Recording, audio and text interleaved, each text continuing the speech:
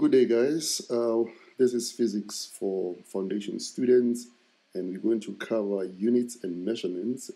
There are six basic quantities in physics, and that's length, time, mass, temperature, electric current, and the luminous intensity. And the SI units or the base SI units are shown.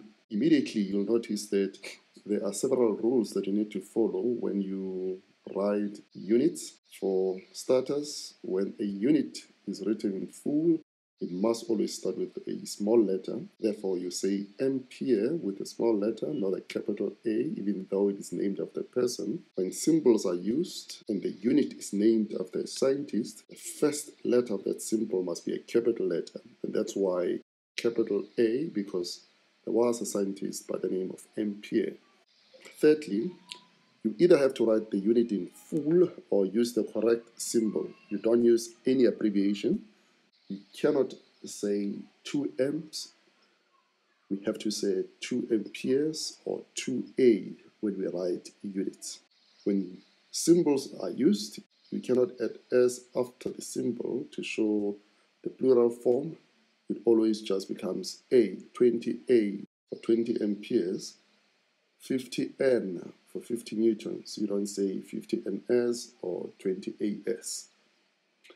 Now, let us derive a unit of pressure from the basic SI units. We know that pressure is given as force over area, and we can further break down force into its defining equation as force being equal to the mass multiplied by the acceleration and we can also write area as the length times length or length squared.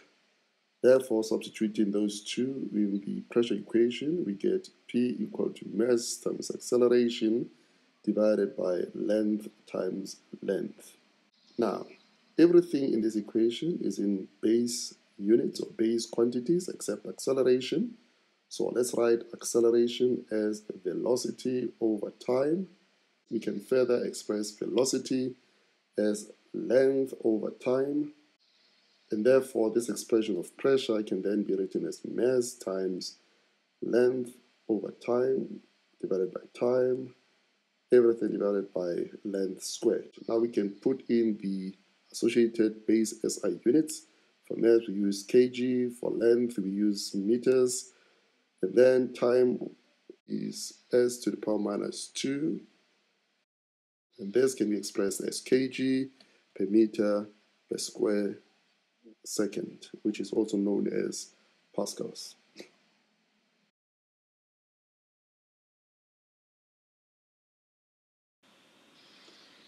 There are various methods you can use to convert from one unit to the other uh, but the most common one is called the cross multiplication, where you use the conversion fraction that's given, and then um, you arrange or the same units to be on one side, uh, and by multi-denominator of one fraction with the numerator of the other. In this case, 15 miles will give you 24.15 kilometers.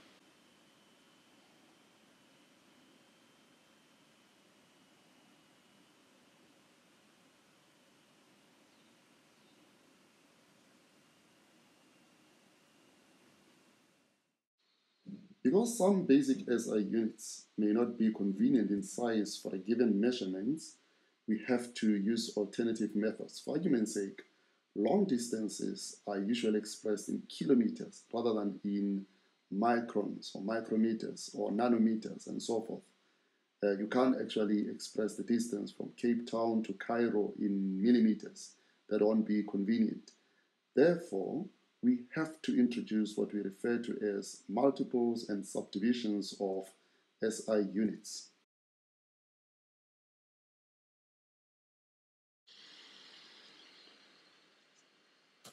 First, we look at the scientific notation or the scientific way of writing very large numbers or very, very small numbers.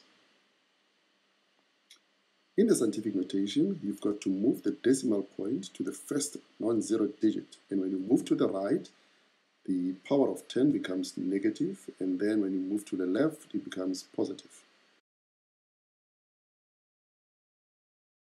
In example 1, we've got 0 0.035, which we've got to write in its scientific notation. Therefore, we move the decimal point to between 3 and 5, and in doing so, we take 3 leaps to the right, hence the power of 10 becomes minus 3. In 1.2, 56765.32, we've got to move the decimal to the first non-zero digit, which is 5, and we take four leaps or four steps as shown. And since we are moving to the left, the power of 10 becomes positive. In example 2, we've got to change the numbers that are written in scientific notation to a general form where there's no uh, exponents. And to do this, we note that the exponent is 4 in the first example. Therefore, we've got to move to the right 4 times so that we can get 4 minus 4, cancelling out. 10 to the power 0 is 1. And then the number that results is just 5, 4, 6, 4, 6. In the second example, we've got 5.304 times 10 to the power minus 3. Minus 3 simply says that the comma has been moved to the right three times.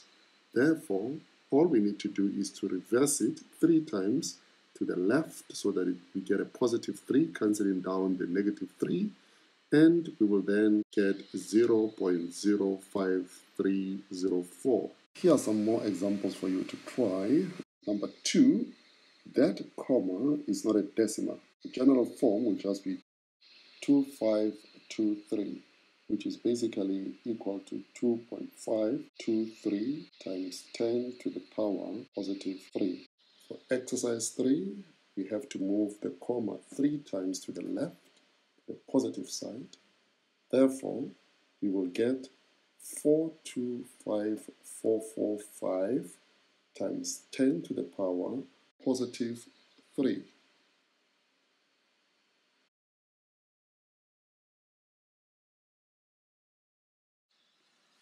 Next, we look at the engineering notation, which basically works with exponents of 10 that are multiples of 3.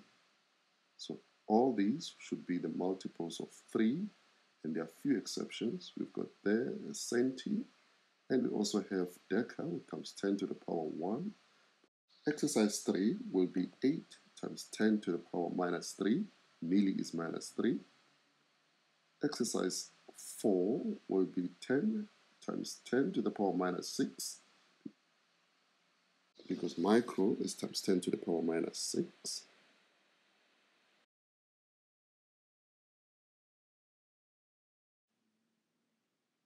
Now let's look at significant figures and how accuracy can be established from the number of significant figures in a given number. Okay, firstly, all non-zero numerals or numbers are significant. Now, for argument's sake, in this example here, 1, 1, 2.6, there are four non-zero numerals And in the other examples, A, B, C, D, at the bottom there, we've got 1, 2. So here we can also say we've got 2. Here we also have 1. There we've got 1. There we also have 1. These are the non-zero numerals, which automatically becomes significant. We then look at the zeros. And with zeros, there are two conditions. Firstly, all zeros that are between non-zero numbers are significant.